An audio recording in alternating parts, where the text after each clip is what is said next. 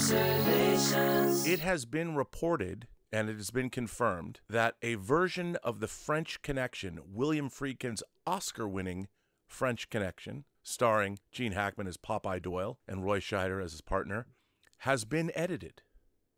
Oh, bullshit. Disney controls the French Connection because it was a Fox film. It's now 20th Century Studios. And there is a piece of dialogue where Gene Hackman, whose character is a racist cop, uh, has dialogue where he uses the N word, has been edited from the film.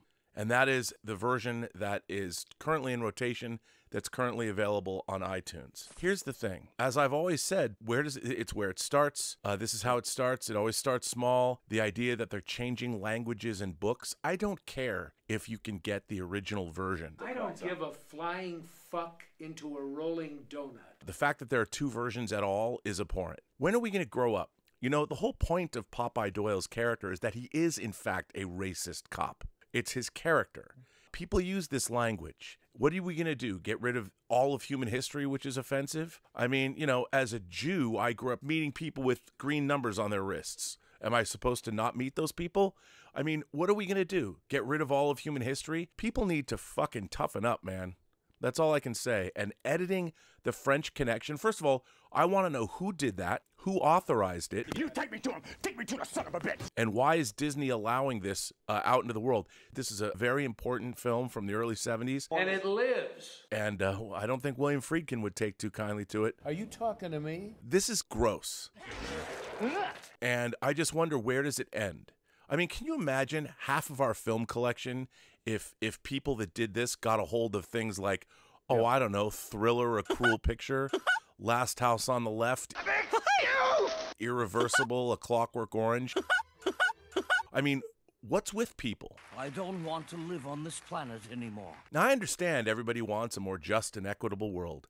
But you know what? I want a just and equitable world with adults living in it that don't think that words are violence. Violence is violence. Just because you hear a bad word, you should be able to, as an adult, deal with it. They're editing movies out there and they're putting those movies out into the world. Disgusting. And you know what somebody said to me? Somebody said this on Twitter. Well, Rob, do you really need to hear the N word again? And I'm like, you're part of the problem, dude. You're part of the problem. I don't need to hear these things, but this is what was given to us. This is how it was made. This is how the director wanted to do it. This is an actor's performance. We don't get to go back and retroactively change art that was created 50 years ago. I don't care. And the people that think that that's okay, they're part of the problem because it's a slippery slope. And once you allow one thing to creep in, no, it's okay. I mean, I want language. Oh, and by the way, do you know where this version of French Connection is currently airing? On the Criterion channel. Shame, shame, shame.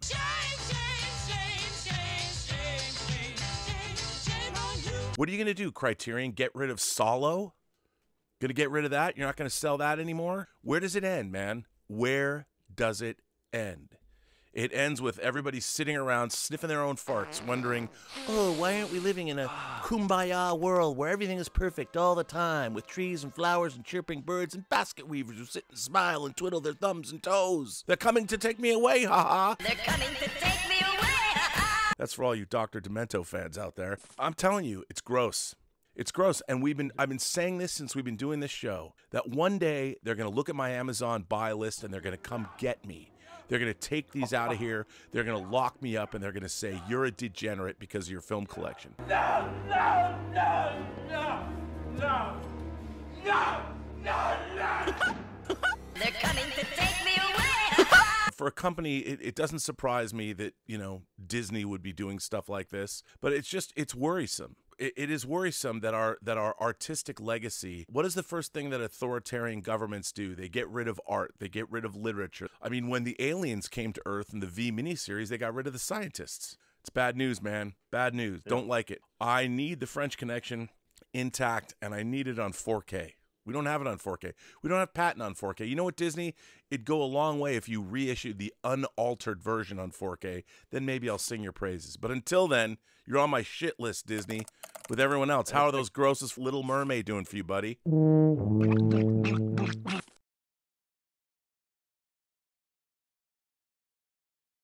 I've talked about this before. I hate it.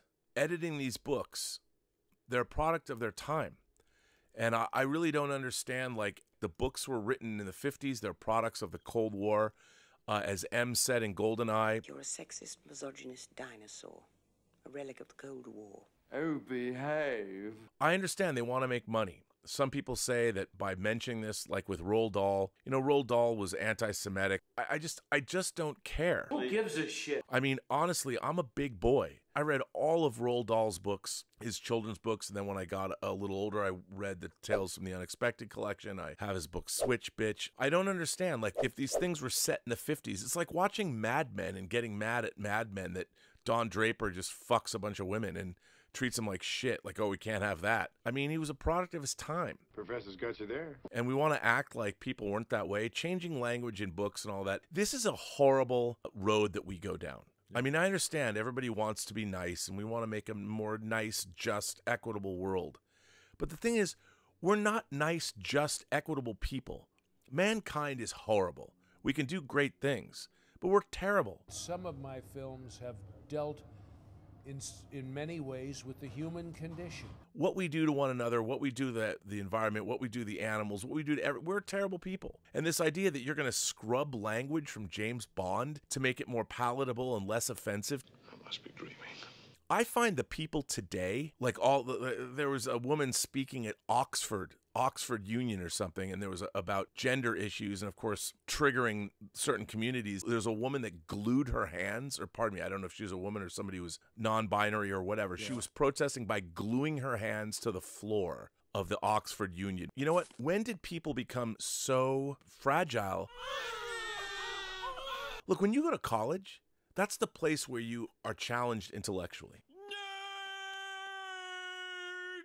And if somebody shows up and says things that you might disagree with, first of all, these people have already decided that they hate a speaker. They can't even go in and listen to a speaker first. They go in and they shout down speakers. I'm like, eh, I'm telling you, if somebody, when I was in college, if somebody protested a speaker where I was going to school, they would have gotten thrown out. How rude, how fragile are you that you can't hear someone's ideas? Like, if you think somebody has bad ideas, great, listen to them and figure out why can you rebut their opinion and have a great argument about why their ideas are bad. But to go down and shout down ideas, it just it it it doesn't do anything for your cause and it doesn't do anything for you. It makes you look weak. If you can't listen to somebody speak, you're the problem, not the speaker. It's gross. Hate it. I hate all this. I hate all these people that they can't even handle listening to somebody's words. Words are violence. Man, you don't even know what violence is. Shut the fuck up. Don't tell me I can't hear a speaker. Don't tell me I can't read a book. Fuck you. Hate it. But nowadays, I mean, everybody, it's it's just it's it's terrifying how people want to erase the past and they think it's a good thing. It's like, did you not read any books? Have you not read your George Orwell? Did you not read Aldous Huxley's? Uh, Did you not read read any of this stuff? Do you not read science fiction? I mean, it's it's it's crazy to me how many dystopian. Watch THX 1138 if you're a Star Wars fan. Go back and see what George Lucas was saying about a totalitarian regime. It's amazing. I hate it. Hate it. Hate it. I will fight it tooth and nail. Anybody that won't listen to somebody speak, they're the problem, not the speaker. They're the problem. They're the fascists. They're they're the ideologues that have a problem. If you if you want to combat a bad idea, listen to those ideas, learn how to tell people they're bad and why they're bad, and do the work, man. Do the work. That's all I can say. Do the effing work. My films are all about the thin line between good and evil that's in everybody. I don't believe in a guy in a white hat and a guy in a black hat. I, I know it within myself. It's a constant struggle for my better angels to triumph.